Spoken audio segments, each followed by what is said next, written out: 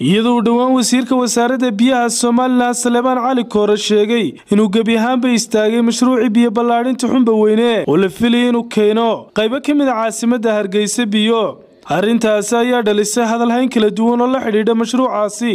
Haddaba arrintaasi waxaanu wax ka weydiinay maarayii hore ee wakaaladda biyaha hargeysa ibraahim siyaad oo ka warbixiyey intuu joogay wakaaladda biyaha hargeysa iyo wuxuu ka ogaa mashaariicda kala duwan ee biyo ballaadhinta caasimadda hargeysa.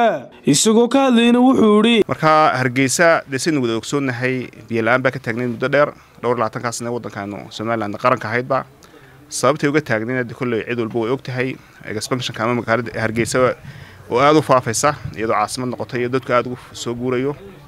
Nasiib wanaag wakhtigii xukuumaddii axmed maxamed maxamuud siilaan uu hogaanka hayay waddanka mashaariic fara badan baa biyaha wakaaladda biyaha hargeysa soo maray.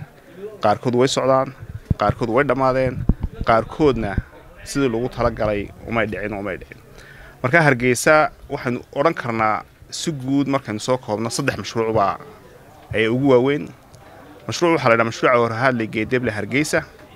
Waa horehaadle oo ceela laga qodayey geedeble ilaa hargeysa oo beeb weyn la soo dhigayey mashruucaasi ogaantay dee iminka magaalihii meihii laakiin si fiican buu u socday waxoogaa waxaa la mooday inuu waxoogaa dhiliya ku yar yimid laakiin waxaan ku rajo weynahay insha allah inuu iska dhammaan doono mashruucaasi waa mashruuca ugu weynee biyaha hargeysa aynu rajada weyn ka damacsannahay ilaa hawshiisuna si fiican bay u socotaa mashruuca labaad waa mashruuca la yidhaha xumba weyne mashruuca xumba weynena dee wasiirku shalay darha tore uu ka hadlay horena in badan baa looga hadlay mashruucii wuxuu ahaa ugu muranka badnaa ugu hawsha badnaa muddada aanu xafiiska joognay hawshiisu way taagneyd ilaa xukuumaddii riyaalana way soo socotay hawshiisu.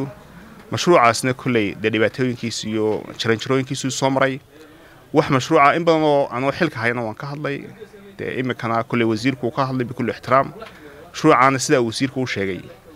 Ayuu aniga lafteeda waan la qabaa wuu yahay marka hadde horena waan u intaa wasiirku sheegay. Hadday farsam ahaan tahay sida ceelasha loo qoday hadday biyaha meesha ku jira tahay haddii tahay alaabta meesha lagu riday. Marka kolley mashruucaasi mashruuc marka horeba dee shaqaynayay oo lalahaa wuu socday mu ahayn. In badan bay muran ka taagnaa. Xukuumadda lafteeda way ku kala aragti duwaneyd.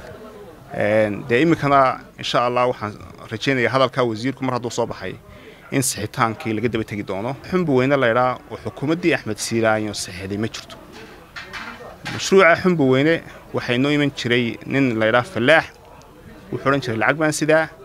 Mashruuca xumba weyne anigoo maaraya wakaaladda biyaha hargeysa ah wakhtigaa wasiirkii macdanta iyo biyaha xuseen cabdi oo iminkana jooga wasiirre laba wasiiroo ku kala dameeyey wasaaradda biyaha.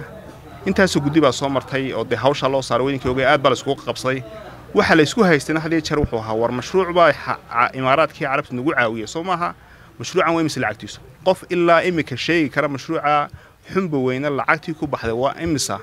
Dee horta anuu maarayaan ahayo ma ogi. Iyaguna hadday dee ciddii kale xoogaal hawshaa iga hina iyaga way sheegi doonaan. Laakiin intaan ogahay mashruuca cid haysa haba lacagta ku baxaysay ma jirto?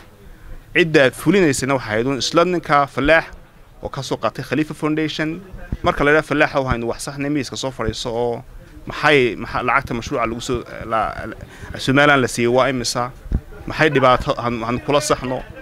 Designkii mee siday waxu jiraana? Waa idinkii ogaay had iyo rabshad baa ka bilaabi jirtay oo isagaa dhibaato fara badan abuuri jiray. Marka si kooban haddaan u idhaahdo mashruuca xumba weyne lacagta somalilan lagu caawiyey imaaraad ku caawiyeen anigu ma garanayo. Anigu somalilan xukuumaddii wakhtigaa joogtayna may ogeyn. Si kastana waanu iskugu daynay in hawshaa gunteeda la gaadho gaari kari weyne marka markii koowaad ee dhibaatadu waxay abuurantay ceelasha sidan yaan loo qodin ha laga daayo. Waanu ka joojinaa shaqada waxaanu ku niri ceelashaasi ceelashii hargeysa aan ficil lahaa maahe ka daa. Markaasay hargeysa kalaasiskeedu inagu abuurnay. Mar alla markii shaqadii ninkii laga joojiyey ayaa hawshii si kale loo dhigay oo la yidhi ama cid gaara wax loo diidayaa ama xaafad gaara wax loo diidayaa. Markaasay dhibaato halkaa ka bilaabantay. Marka wuu dhameeyey ceelashii. Markii uu dhameeyey wasiirkii macdanta iyo biyaha ee wakhtigaas oo xuseena iyo falaaxa waxay kala saxeedeen heshiis. Waanu haynaa dee meel iyo wasaaraddana wuu yaalaa cid baata waa la siin karaa. Heshiiskaasi wuxuu dhigayay mashruuca feyskaa koowaad ceelashaa la qoday way isku wada dhow qalabka lagu riday qalabkii saxdaa hargeysa aan fici lahaa maaha meesha wax lagu baahaya feyska koowaad in lagu noqdo. Wuxuu saxeexay feyskaa labaad intaan la bilaabay inuu hawshaa saxayo ceelashaana ceelal cusub uu ku darayo ceelasha la kala fogeynayo bamkan iyo raisin beebka iyo kaysanka ku jirana uu bedelayo ilaa uu hawshaa dhameeyana aanay wax dama qabanin dhowr iyo toban qodob ay kala seexdeen labada mas'uul. Dee dhowr iyo tobankii qodob isagoo halkaa taagan tahoo ayuu mar labaad yidhi mashruucii baan waxaan bilaabaynaa baabkii iyo iyo baraagihii. Markaa dhibaatada ugu weyn waxay ahayd waar mashruucii fayskii hore qaladaad fara badan baa ka jiray. Markii la koowaada la bilaabayna waa adigii diida inaad saxdo heshiiskeedna wuxuu ahaa qodob qayb labaad inaan la bilaabin ilaa qaybta hore la saxee qaybta hore horta sax. Markaa had iyo jeer dhibaatadu halkaas ka iman jirtay xaggee la mariyaa biyaha biyaha meel la mariyo horta ka muhiimsanaa in la ogaado besinka biyaha ku jira ma ceelashaa loo qoday si saxid ma loo qoday. Ismaan axmed ismaan star t v hargeysa